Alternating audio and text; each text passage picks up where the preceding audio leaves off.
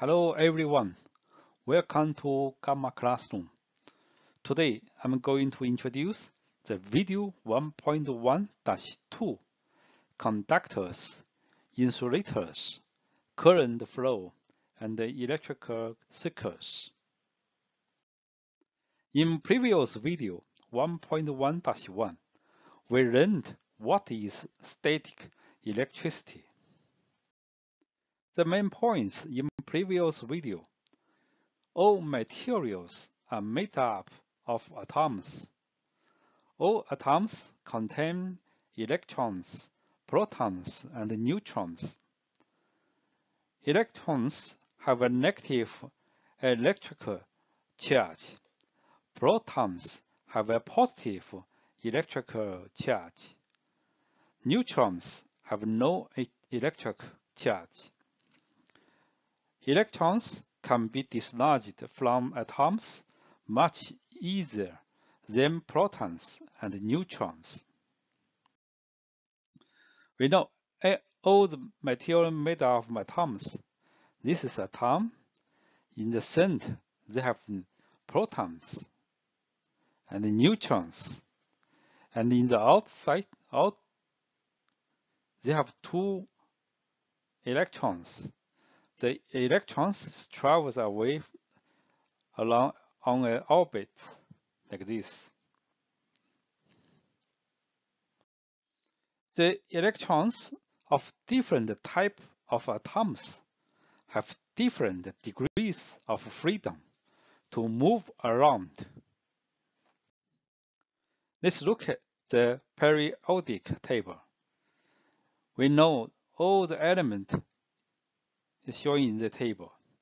The yellow color is means the metal.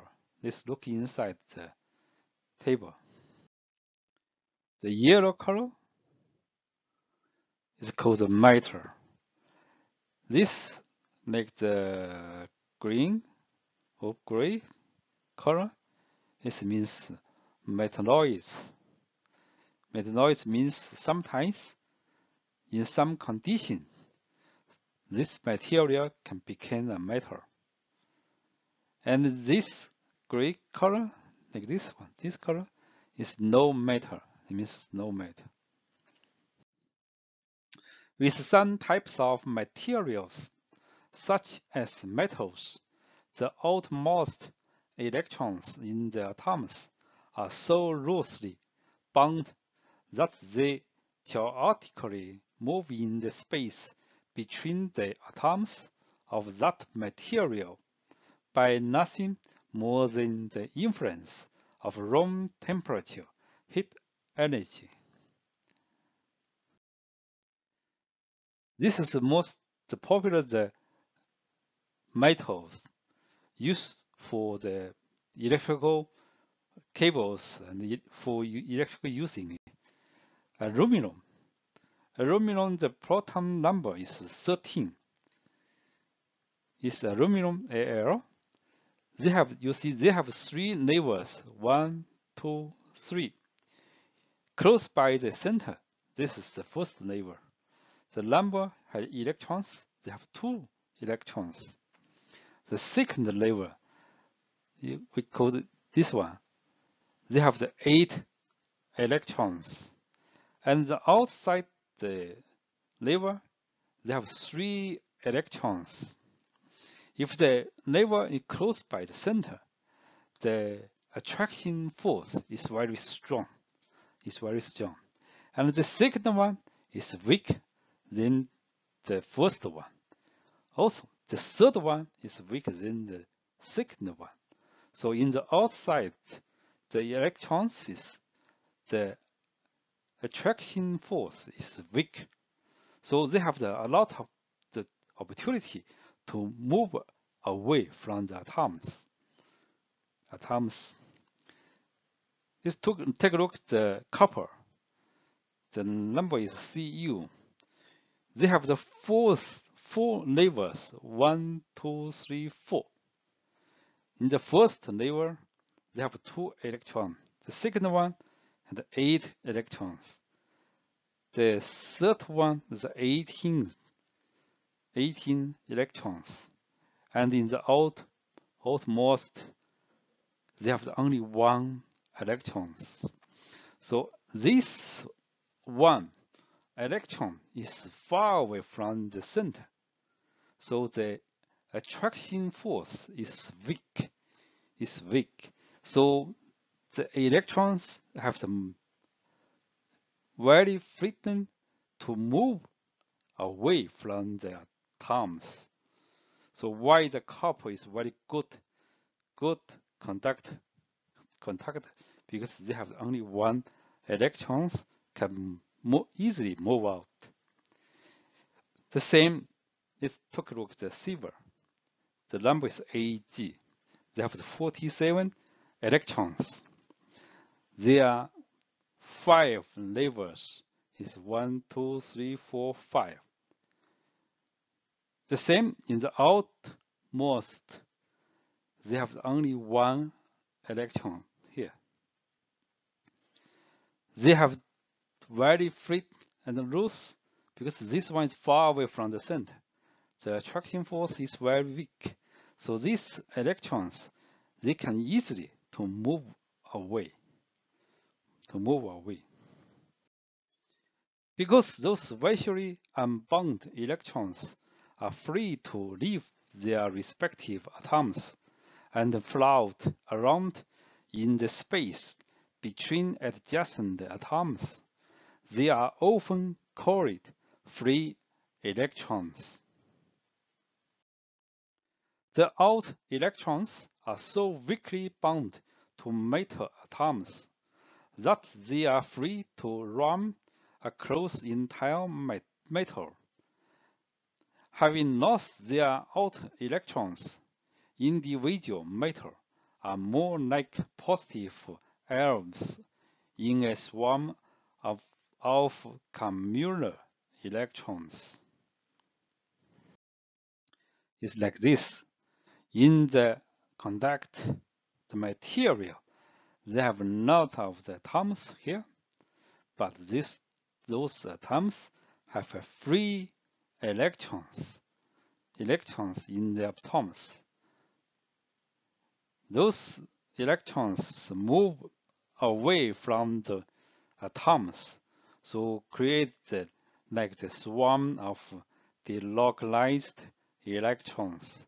So they are not of free electrons in between the atoms.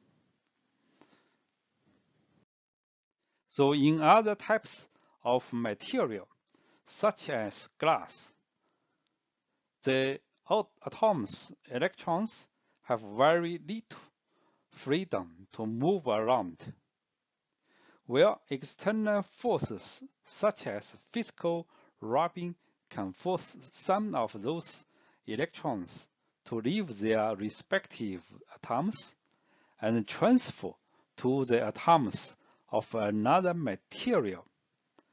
They do not move between atoms within that material very, very easily. Like we already learned in the previous video. This is a glass rod. This is a silk cloth. When the both rubbed together, the electrons from the glass rod transfer to the silk cloth. From this part, transfer to this part. So this is the positive, this is negative. But in the glass rod inside, there is no oh, few electrons inside the glass rod.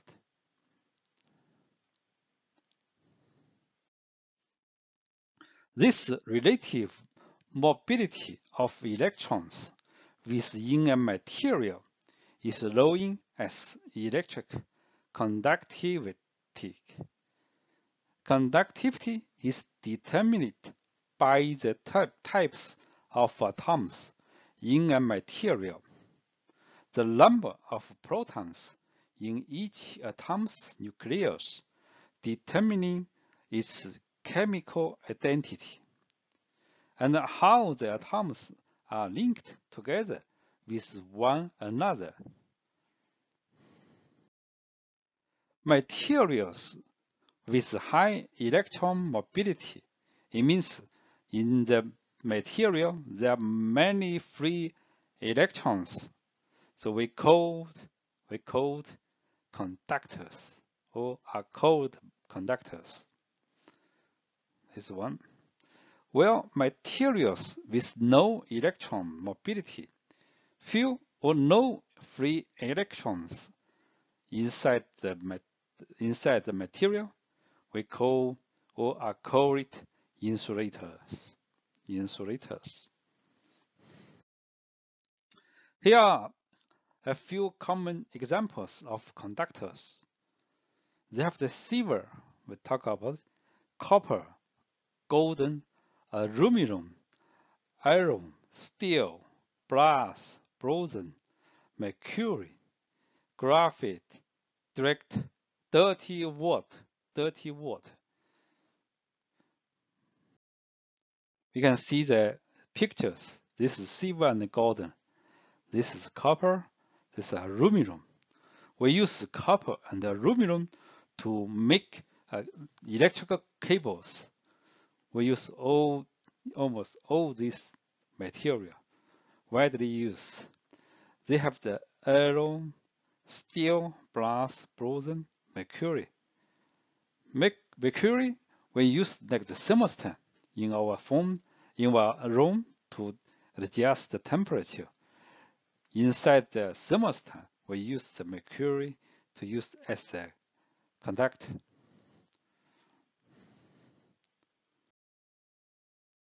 The movement of negative and positive charges in conductors are as shown below.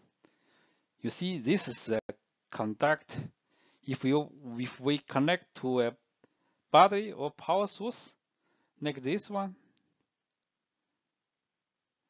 the positive will go into this way. Then the electrons with negative will go into this way. We call this way, we call the current flow. flow. We go this direction, we call electrons flow. Like this. This is the power, the bulb is on. Actually, this is the battery, and this is the cable. We use the conduct made of the cable or wires. Wires, this is the conduct so that's why from the battery connect to the power and go back to the battery to make the close the roof. Then the power they can pass through the bulb. The bulb can be on. Here are a few common examples of insulators.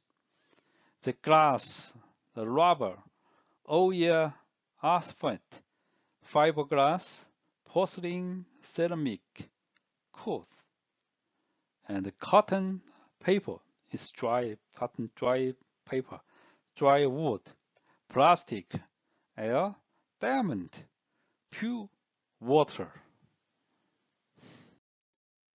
This is glass. We always use the glass, rubber, oil, like the high voltage equipment.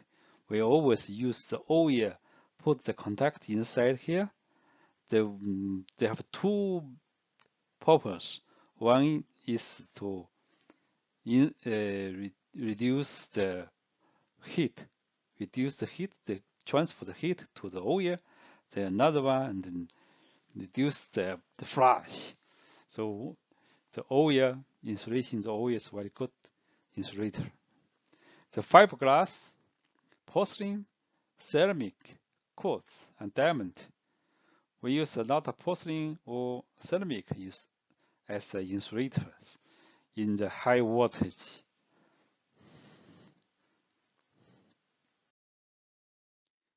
There is no flow in the circuit because the insulator is broken the circuit.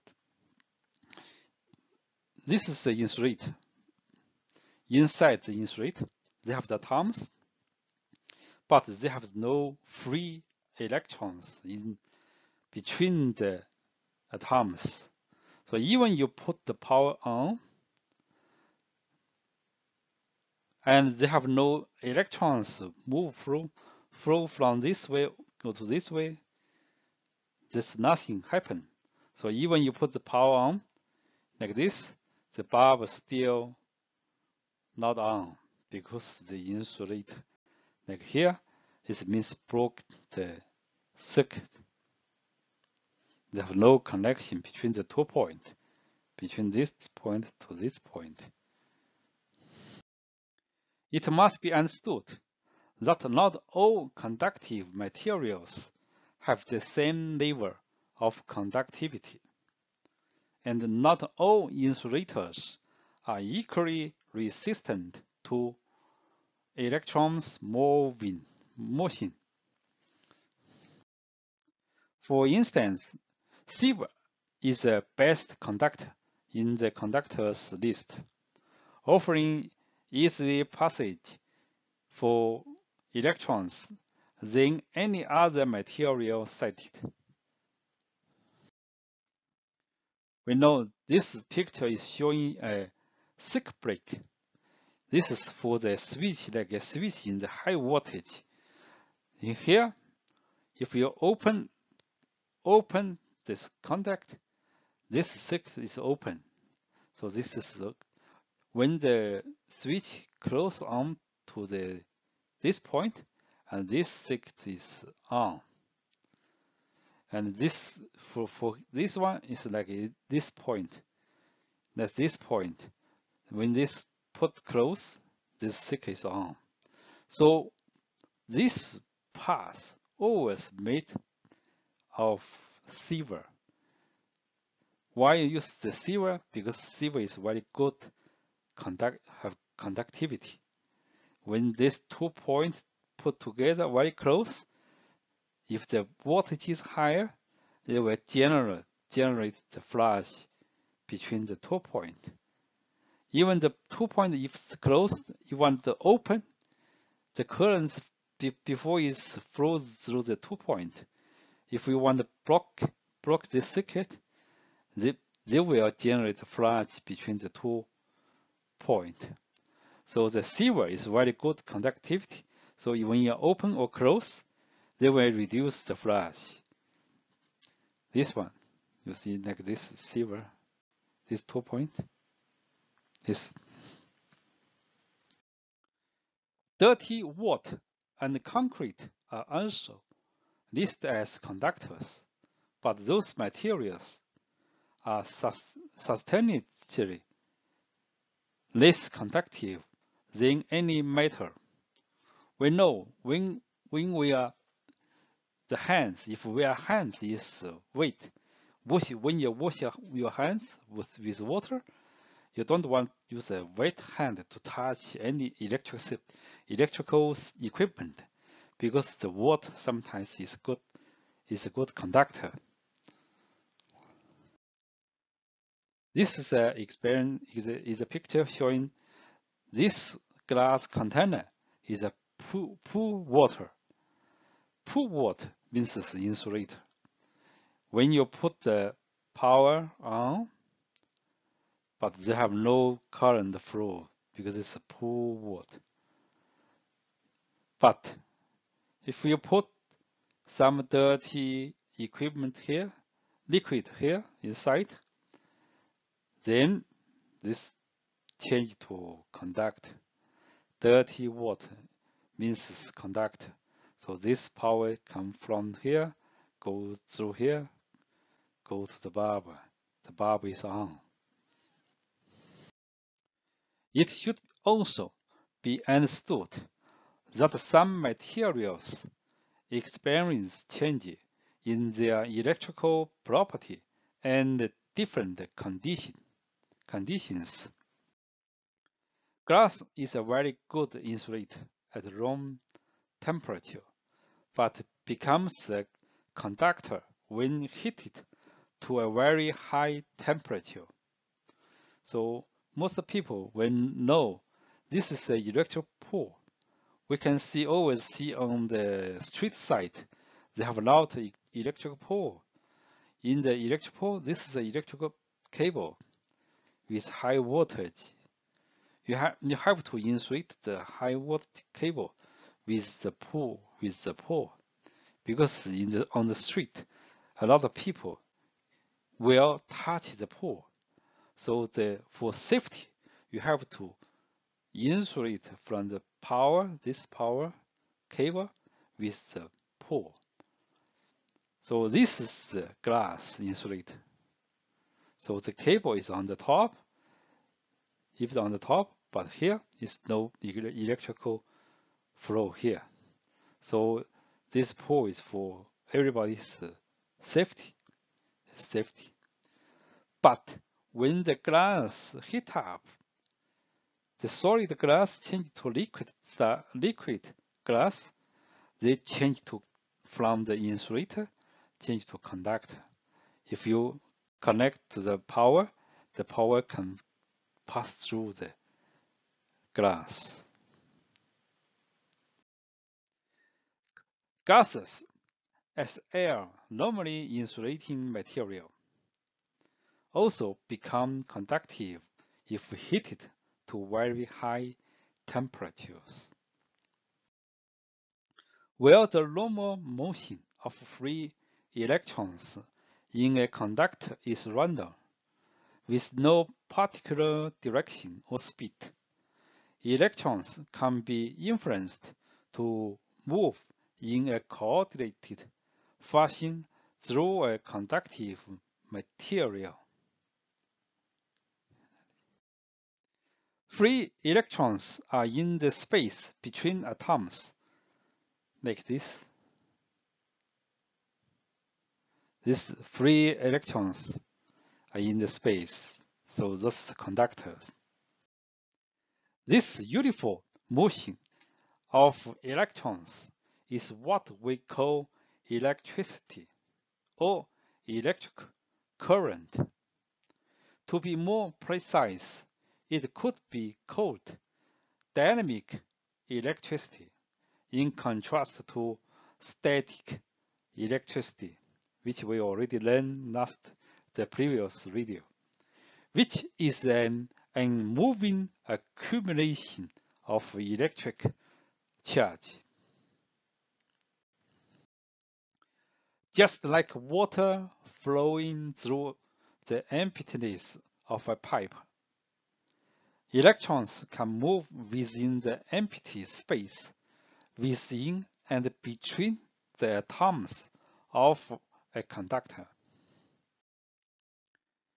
This is electricity, electrical, electrical circuit. If they have the battery, they will can use the fluid in this circuit. It's similar with the water pipe system like this, this is a water pumper. When the pump is working, the water will go through this way, go back to back cycle. Is similar with this. The conductor may appear to be solid to our eyes, but any material composed of atoms is mostly empty space.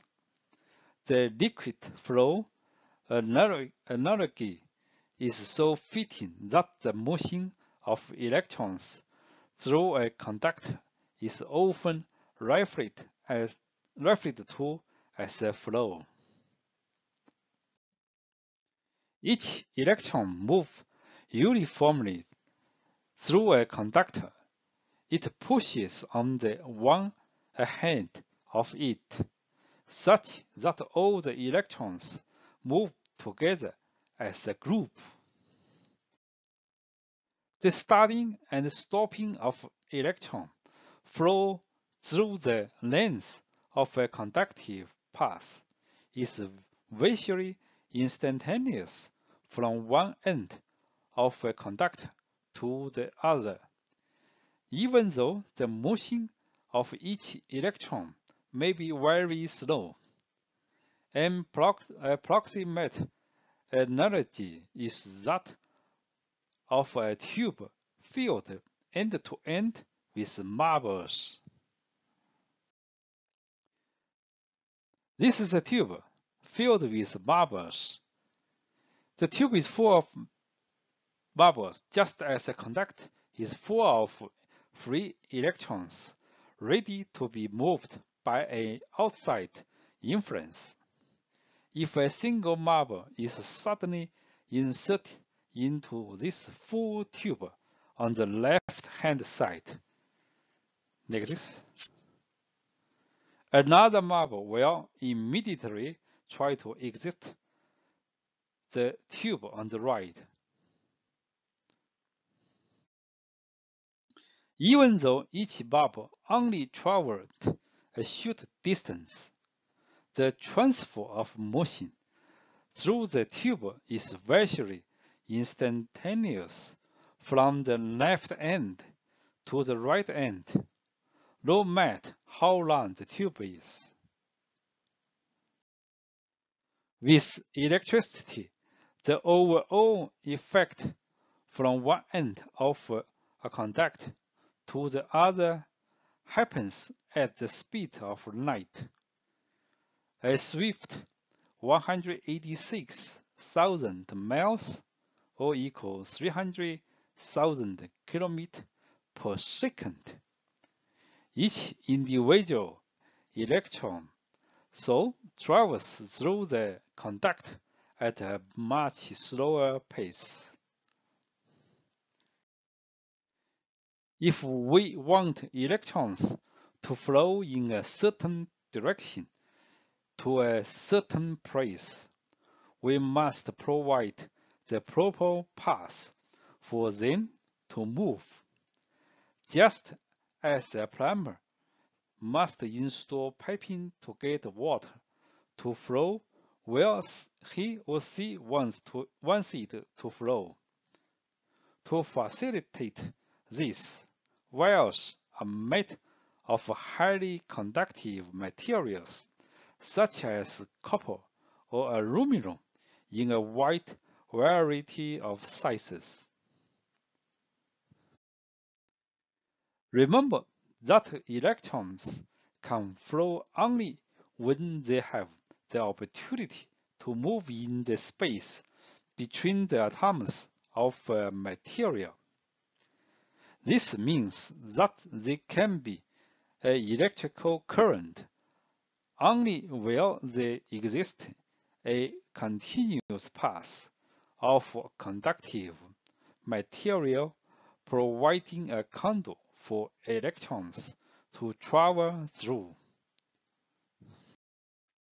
In the marble analogy, marbles can flow into the left-hand side of the tube and consequently through the tube if and only if the tube is open on the right-hand side for marbles to flow out.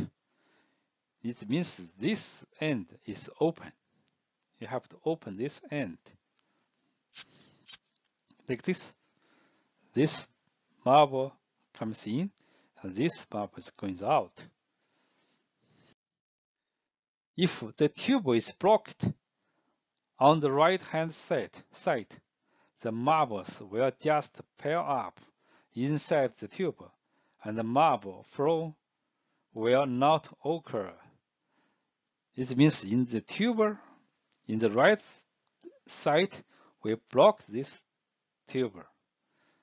Even you move this marble onto the tube, but nothing happened in this side, like this. Nothing happened because this tube is, has been blocked. The same holds true for electric current.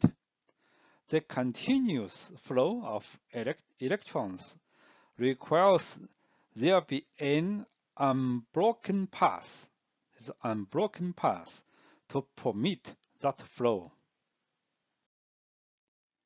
Let's add a hypothetical electron source and destination. We call this electron source. This called the electron destination. We can generate the flow from this, the source to the destination. Now with the electron source pushing new electrons into the wire on the left hand side, electron flow through the wire can occur.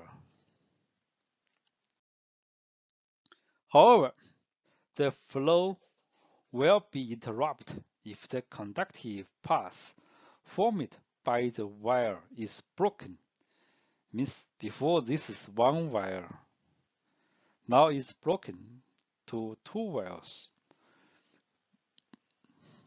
Since air is an insulating material, and an uh, air gap, gap separates the two pieces of wire. The once continuous path has now been broken, and electrons cannot flow from source to destination. This is like cutting a water pipe in two and then capping off the broken ends of the pipe. Water cannot flow if there is no exit out of the pipe. In electrical terms, we had a condition of electrical continuity when the wire was in one piece, and now that continuity is broken, with the wire cut and separated. like this this before this pipe is connected together but now this cap it so they have no water flow through the, the, the pipe if we are we were to take another piece of wire leading to the destination and simply make physical contact contact with the wire leading to the source we should once again have a continuous path for electrons to flow. If we put some wire from here, connect to this side, whatever, if you can put this way, anyway, just connect two points. Then they have the closed rope here. So the power can flow this here to here to the destination, like this.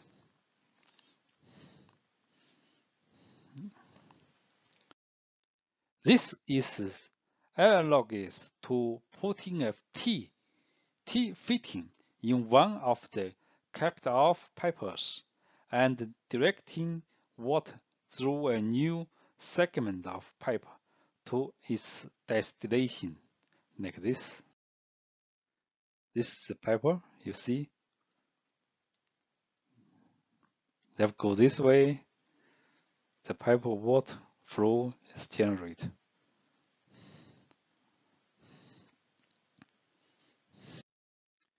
You might have been wondering how electrons can continuously flow in a uniform direction through wires without the benefit of those hypothetical electron sources and destinations.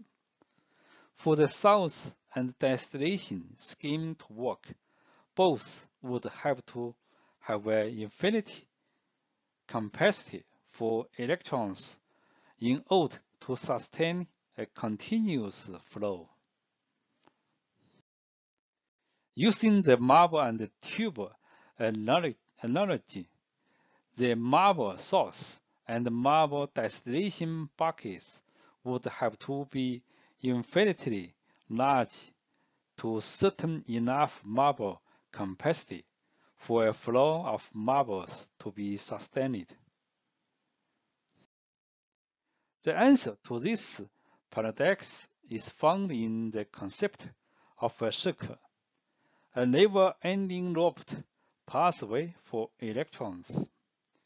If we take a wire or many wires joined end to end and loop it around so that it forms a continuous pathway, we have the means to support a uniform flow of electrons without having to resort to infinite source and destinations. Electrons can flow in a path without beginning and end, continue forever, like this.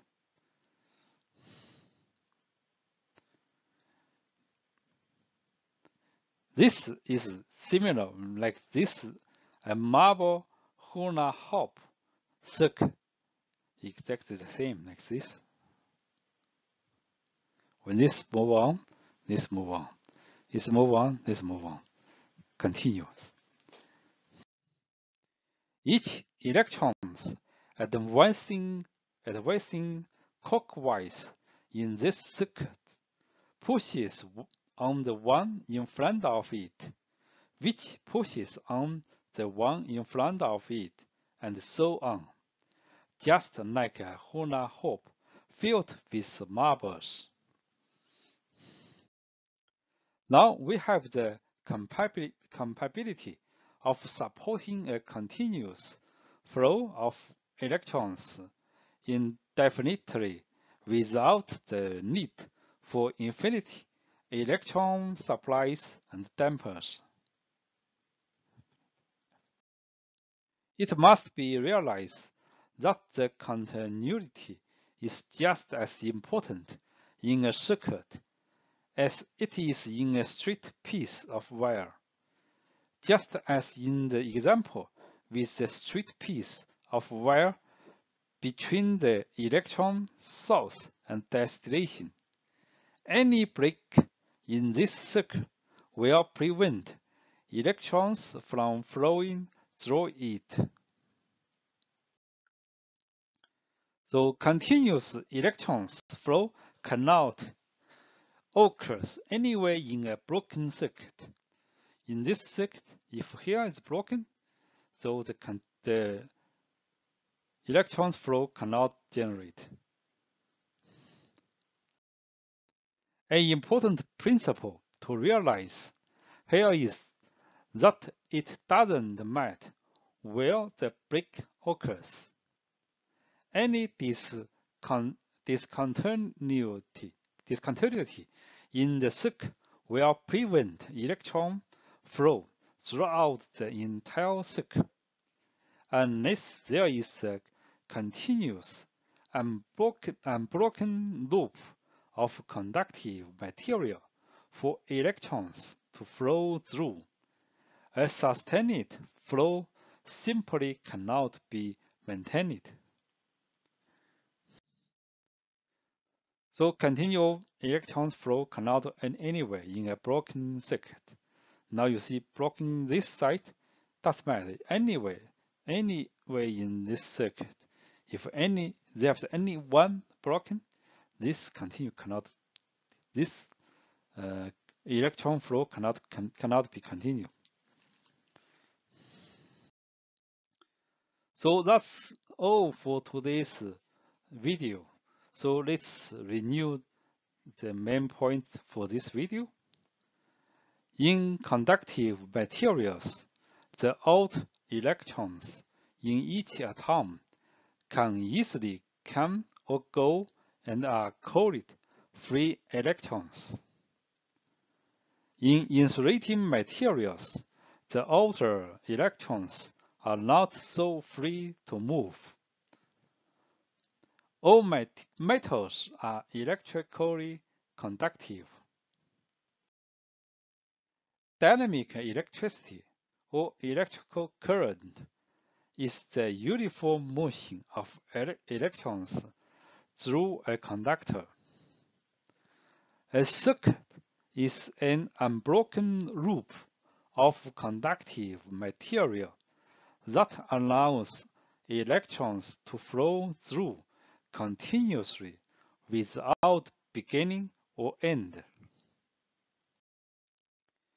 If a circuit is broken, that means its conductive elements no longer form a complete path and continuous electron, electron flow, flow cannot be occur in it.